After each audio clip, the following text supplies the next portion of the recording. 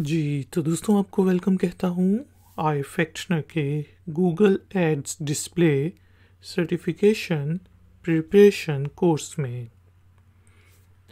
आज के video tutorial में हम स्मार्ट डिस्प्ले एड कैंपेन के बारे में बात करेंगे। डिस्प्ले एड कैंपेन्स दो टाइप्स की होती हैं। उनमें से पहली है स्मार्ट डिस्प्ले एड्स कैंपेन और दूसरी है स्टैंडर्ड डिस्प्ले एड्स कैंपेन। तो आज के वीडियो ट्यूटोरियल में बात करते हैं स्मार्ट एड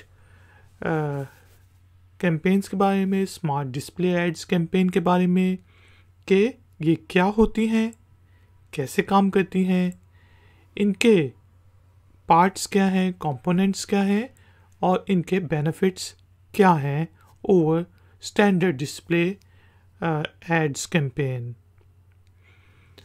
तो दोस्तों, जैसे स्मार्ट डिस्प्ले एड्स कैंपेन में स्मार्ट का वर्ड यूज़ हुआ है तो इसका मतलब ये है, इसका मीनिंग ये है कि ये fully automated display ads campaign है।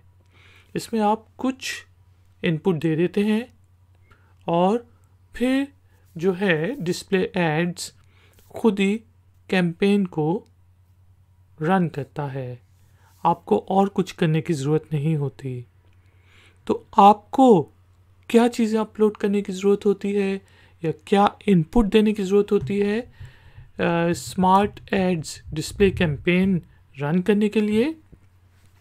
तो उसमें सबसे पहले है आपका एड के डिफरेंट मैसेजेस यानी कि आप अपने ऐड की हेडिंग दे देते हैं।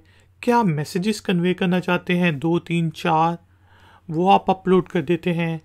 आप अपने एड्स से रिलेटेड जिस तरह प्रोडक्ट्स की इमेजेस हो गई सर्विसेज़ की इमेजेस हो गई, वो अपलोड कर देते हैं। इसके साथ साथ आप अपना डेली बजट डिफाइन कर देते हैं कि भाई मेरा डेली बजट जो है, वो 200 डॉलर्स का है। इससे ऊपर नहीं जाना। और इसके साथ साथ आप सी भी डिफाइन कर देते हैं। अब सी क्या होता है? डिस्कस कर लेते हैं। C P A stand for cost per acquisition तो कॉस्ट पर एक्विजिशन से हम क्या मुराद लेते हैं? तो इट्स अ मार्केटिंग मैट्रिक ठीक है? That measures the total cost of customers completing an action यानी कि अब आप कस्टमर को अगर सिर्फ़ अपने वेब पेज तक लेके जाना चाह रहे हैं तो बस जब वो वेब पेज पे पहुँच गया तो वो आपकी कॉस्ट पर एक्विजिशन कंप्लीट होगी। यानी कि एक जो आपने एक्वायर किया है कस्टमर को, कि वो आपकी इंफॉर्मेशन देखे या वेब तक वेब पेज तक पहुँचे तो आपकी जो है ऑब्जेक्टिव अचीव हो गया। लेकिन अगर आप ये चाहते हैं कि आपका प्रोडक्ट सेल हो तो जब तक आपका प्रोडक्ट सेल नहीं होगा तो वो बेसिकली कॉस्ट पर एक्विजिशन होगी। लेट सपोज़ कस्टमर आपके वेब वेब पेज तक पहुँच गया। दस में से एक कस्टमर जो है, वो आपका प्रोडक्ट लेता है। तो अब आपकी कॉस्ट पर एक्विजिशन उन जो टेन के ऊपर आपकी कॉस्ट आ रही है कस्टमर्स को लाने में, और फिर उनमें से एक को चीज़ बेचने में वो आपकी कॉस्ट पर एक्विजिशन हो जाएगी। इसी तरह कॉस्ट पर एक्विजिशन के साथ होता है रिटर्न ऑन एडवर्टाइजिंग स्पेंड जिसको हम आर ओ एस से डिफाइन करते हैं, या उसका एब्रीवेटेड फॉर्म है R O S return on advertising spend तो या तो आप वो डिफ़ाइन कर देते हैं कि यार मैं अगर 200 डॉलर्स की इन्वेस्टमेंट कर रहा हूँ मार्केटिंग के लिए एक्सपेंस कर रहा हूँ तो मुझे उस पर हज़ार डॉलर्स चाहिए। तो ये होता है रिटर्न ऑन एडवर्टाइजिंग स्पेंड कि भाई आप जो एडवर्टाइजिंग के ऊपर स्पेंड कर रहे हो, उसका कितना रिटर्न आपको चाहिए है तो ये आप सेटिंग कर सकते हो। तो नेक्स्ट चीज़ हमारे पास जो है, वो है parts of smart display ads campaign इसके कंपोनेंट्स क्या होते हैं? स्मार्ट डिस्प्ले एड्स कैंपेन के ये काम कैसे करता है? आपको फ़ायदा कैसे पहुंचाता है? तो सबसे पहले ये आपके लिए ऑटो बिडिंग करता है। आपको पता है कि जब गूगल के सर्च में डिस एड्स डिस्प्ले होते हैं या फिर डिफरेंट वेबसाइट पे एड्स डिस्प्ले होते हैं बैनर्स में या फिर यूट्यूब पे होते हैं तो उसमें बिडिंग प्रोसेस चलता है। जी, आप सिर्फ़ आप ही एडवर्टाइज नहीं करना चाहते, बल्कि आपके साथ सौ, दो सौ, दस, तीन, चार कंपिटिटर्स भी उन्हीं वीडियोस के ऊपर, उन्हीं पेजेस के ऊपर, उन्हीं सर्चेस से रिलेटेड एड्स को डिस्प्ले करना चाहते हैं। तो गूगल जिसकी बिड सबसे ज़्यादा होती है, और जिसका फिर कॉम जो कंटेंट होता है, वो रेलिवेंट होता है, इन दोनों को उसका एल्गोरिदम कैलकुलेट करके सबसे ऊपर या सबसे पहले उनकी बिड उनका एड डिस्प्ले करेगा, जिनका रेलिवेंस भी होगी और बिड भी ज़्यादा होगी। तो अब आप हर बिड तो मैनुअली नहीं कर सकते ना? तो इसलिए गूगल स्मार्ट डिस्प्ले एड्स आपको ऑटो बिडिंग की सहूलत फराहम करता है, जिसमें आप अपना टारगेट सीपीए यानी कि टारगेट कॉस्ट पर एक्विजिशन या फिर target return on advertising spend define कर देते हैं। और जो भी आपने डिफाइन किया होता है, उसके मुताबिक वो बिड को ऊपर नीचे कर सकते हैं। शायद एक बिड वो सिर्फ़ पाँच सेंट की दे, अगली बिड वो पचास रुपए की दे। अगली बिड वो दो यूरो की भी कर सकता है डिपेंडिंग के हाँ भाई ये कस्टमर की हिस्ट्री क्या है कस्टमर कितना इंटरेस्टेड लग रहा है और कितने परसेंट चांसेस हो सकते हैं, वो सब चीज़ें वो कैलकुलेट करके कि भाई ये जो है आपका प्रोडक्ट ले लेगा तो वो फिर आप डिपेंड करता है ऑटो बिडिंग करता है खुद ही सिस्टम फिर आ जाता है जी, इसके एक नेक्स्ट कंपोनेंट है स्मार्ट डिस्प्ले का एड कैंपेन का ऑटो टारगेटिंग ऑटो टारगेटिंग का क्या मतलब है? कि गूगल खुद ही आपकी कैंपेन को ऑप्टिमाइज कर देता है। आप कुछ पैरामीटर्स डिफाइन कर देते हैं कि भाई मुझे इस किस्म का कस्टमर चाहिए है जो एक्टिवली सीख कर रहा हो प्रोडक्ट को या इंफॉर्मेशन को।